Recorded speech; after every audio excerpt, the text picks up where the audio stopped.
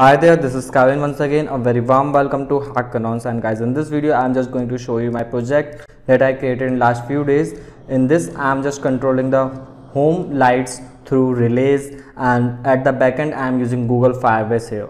So without being more said, let's get started.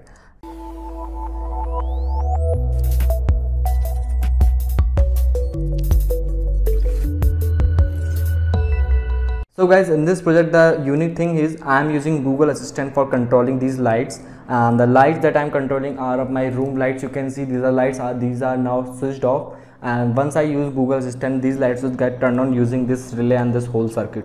So let me show you here just opening my another phone in which uh, by which this whole circuit will get controlled. So I just so guys let's see the demo of this project. I just open Google Assistant on my other phone as I say, okay Google. Hi, how can I help? Uh, please talk to light control. Okay, let's get the test version of light control. Your light has been controlled successfully. Turn on the lights please. Your light has been controlled successfully. You can see my lights get turned on. Turn off the lights please. Your light has been controlled successfully. Turn on the lights please.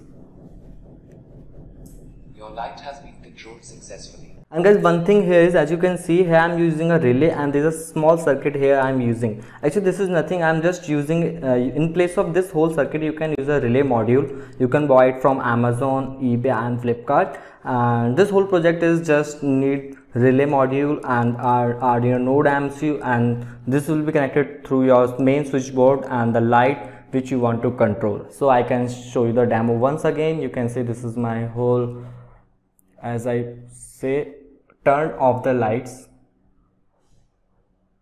Your light has been controlled successfully. That's BAM. Turn on the lights please. Your light has been controlled successfully.